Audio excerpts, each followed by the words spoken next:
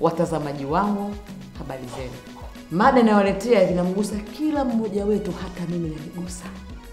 Ajira, ajira ndio kilio cha dunia, ajira ndio kilio cha Watanzania. Zamani unasema watu hawajaenda shule, sasa hivi hata wale wasomi wenye master hawana kazi, wanatembea na mabriefcase, wanatembea na mabahasha A4 A3 kutafuta kazi, ajira hamna. Serikali inasema soma, somesha, umtoe ujinga, ajiajiri. Leo wewe mwenzangu umesoma, enda kutafuta kazi, nani akupe kazi? Akupenda ni kazi. Tumia akili yako. Kama una mtu kushika mkono, kama una mtu kushika kidole, mama, utasafa wewe mpaka viatu vinaisha. Mama, utasafa mpaka hiyo digiri yako unaisahau kichwani. Toa mawazo kuajiliwa, lakini naomba mimi nisemeze utamu wote. Naweza nikawahadisia, lakini raha ya ngoma, ingia ucheze. Karibuni. Lecho mwanangu, Abe mama. yaani kwa kweli mwanangu, silali usingizi kwa raha. Kwa nini? Sina raha, sina amani. Yaani nikiamka nikikuangalia maisha yale yale, nimeuza vitumbua, nimeungua na samaki. Mimi mwanangu, usome angalau Mungu ataniona umesoma, lakini nikija kuangalia kama maisha ndio yale yale. Mama, lakini sikwambia mimi naenda nitapata tu. Na unajua kazi zenyewe zilivyokuwa shida. Nisikilize Lecho, ninamaanisha maisha ya mama yako. Mimi nakula haya kama sungula mpaka lini? Wanaume waowaji hakuna, ajira hakuna, tumewapeleka shule kuwatoeni ujinga. Basi jiajiri, fungue tabanda la mama ntilie, mi nitakusaidia. Eh, Mama, mimi nilivyosoma hivi jamani, kweli? Wewe unaona aibu? Sasa mama, jamani, nimefikiria mwenyewe. Marafiki zangu wakipita wanione kabisa eti sijui na nashika Na sahani. multipoti sijui Ah. nafanya Wanasema hivi, ukiwa na kazi rahisi kupata kazi. Hasa kwani unasoma nao, kwani pia unafanya biashara haramu? Labda mi nafanya biashara haramu, wakinikuta marafiki zangu watanicheka. Mama ntilie ni haramu?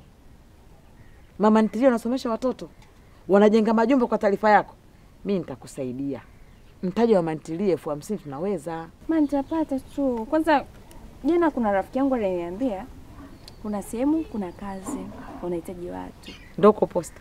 huko, sio huko ambako unasemaga posta, si una nini? Yeah. Ah, ah. Sio mama. Ndio maana nakwambia hivi, wasomi wako wengi, tena wenye elimu zaidi yako wewe, hawana ajira. Sasa mwanangu, na wewe yani, namaanisha nini? Utoke huko kwenye mawazo yako yale, nipate kazi kubwa, nipate gari eh, uendeshwe na gari, uvunje hiki kibanda hiki mara moja. Ah, ah, huko utoke mwanangu, usichague kazi. Hata ukipata laki mbili mwanangu, fanya unisaidie mama yako. Mama, unajua kwa sasa hivi hiyo ndio changamoto kubwa sana kwa taifa letu, lakini tusikate tamaa, tapata mama. Sio kana kwamba mama, mimi nachagua kwamba huko kosa, lakini huko niliona ni vizuri zaidi, kwa sababu nikipata huko hata mshahara unakuwa mkubwa, tuweze kubadilisha haya mazingira. Mama, mimi sipendi kila siku mikopo, madeni, mimi sipendi kwa kweli. hayo maisha mazuri kwenye makazi nzuri kwenye maplado, lini utapata? Nimesoma, umesoma, umetumia hela, umetumia gharama, viwanja vyako vyote viwili umeuza ili niende chuo. Si unakumbuka gumu nilikosa, ukauza viwanja.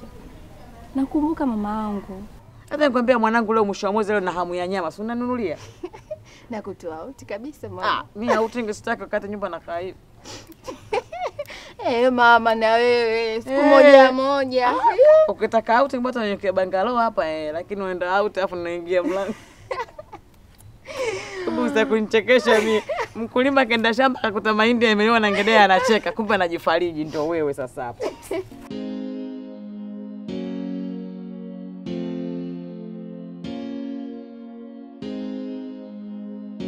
Sasa hizi Salama. shikamoo. Marhaba. Samani, naomba kazi. Ulikuwa unaomba kazi? Ndio, Unaweza kazi gani wewe? naweza kazi ya usafi, naweza kazi ya kaunta, naweza stokipa, naweza manunuzi, na pia nina elimu ya kutosha tu, naweza kufanya kazi. Okay. Hebu geuka kwanza, geuka, angalia ulipotoka. Geuka hivi tena, ah, geuka hivi, yaani malizika, malizika. Kuna vitu unaviangalia, si kuomba kazi dada, au au kuntania kunitania?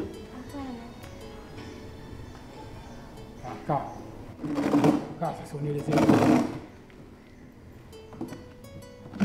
kazi umepata Kweli? na kwa mtoto mzuri kama wewe unakosaje kazi hapa eh?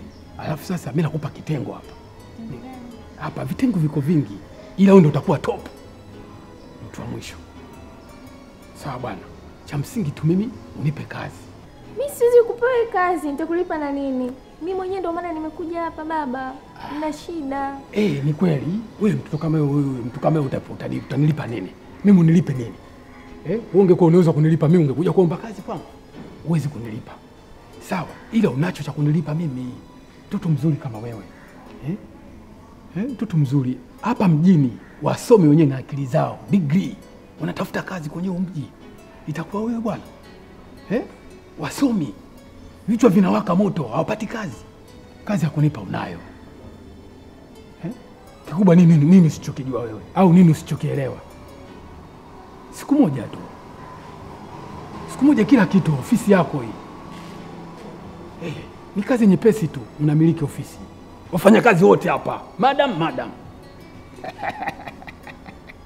rahisisha mambo yayo rahisi. Wapendwa watazamaji wangu, tunaenda wapi? Niwaulize, tunaenda wapi? Yaani wewe meneja, wewe wewe mwenye ofisi uliokalia kiti hicho, imekuwa fimbo kutesea watu ambao wana ajira. Nazungumzia ajira, lakini si kwa maana kwamba ni ajira haswa, msingi wa rushwa rushwa mpaka serikali inaipigia kelele rushwa. Rushwa ziko nyingi, mpaka kwenye vyuo, tena vyuo vikuu. Rushwa, kuna rushwa ya pesa, yaani mtu hawezi kupata haki yake mpaka atoe. Kuna rushwa ya ngono, nyinyi kina baba nyinyi, hiyo naye pia rushwa. Na nyinyi kina dada mnayetoa rushwa hiyo, TAKUKURU wapo, nendeni TAKUKURU. Mwone dada ana elimu yake, anatafuta kazi. Kazi ndio hivyo, kila mtu kupata ni bahati yake. Anakwambia kazi umepata, lakini na wewe utanipa nitakulipa nini mimi? Mshahara sina, sina pesa, nimekuja kuomba kazi kwako, niku, nikupe kazi, nitakulipa nini? Unacho wewe cha kunipa kipi? Unapokijua wewe kipi? Wewe baba na wewe ndo niambie sasa, ndo umekuja kwangu sasa, au umekwenda kwa yule binti umeenda kuomba kazi? Wewe si mwanamme, akwambie nitakupa kazi na wewe utanipa, ungekubali? Ungesema wewe mtoto wa kike utanifanya kitu gani? Lakini kwa sababu wewe ni mwanamme, mwanamme sijui ni kichwa, mwanamme si kitu gani, eti lazima kwanza wewe akupe kazi. Kazi gani baba Yaani huo ni udhalilishaji.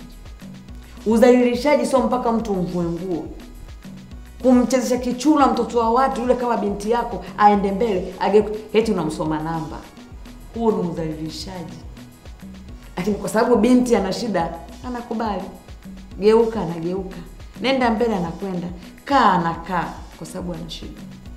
Vaa kile kiatu, mtoto wako, binti yako hakika anafanyiwa hivyo, utajisikiaje? Tubadilike. Dini huna, Mungu wote, Mungu wetu huyu kama unaabudu nyoka, unaabudu ng'ombe, unaabudu mizimu, wote Mungu wetu huyu mmoja. Kina baba, kina baba, na hii tena kwa heshima na taadhima, kina baba, baba zangu, watoto wangu niliowazaa wa kiume, badilikeni. Hivi unamwonaje mwanamke? Wewe ukimwona mwanamke tu tayari umekuwa kila ukiona kichaka lazima ujisaidie. Vichaka vingine vina simba utaliwa na simba. Wanawake mmewageuza kama vile chambo, wanawake mmetugeuza kama sio kitu gani. Nikupe mfano wa mbuzi wa polini wanaitwa swala kwenye mbuga za wanyama, wako wengi na ndio wanaliwa sana, ndio sisi wanawake. Mwenye kunichukia nichukie, mwenye kunipenda anipende kama ninavyosema. Nia yangu sio kama mimi najua sana kwamba mimi sijui na kitu, hapana, au mimi mtakatifu sana, hapana. Tunarekebishana, tunataka twende sawa.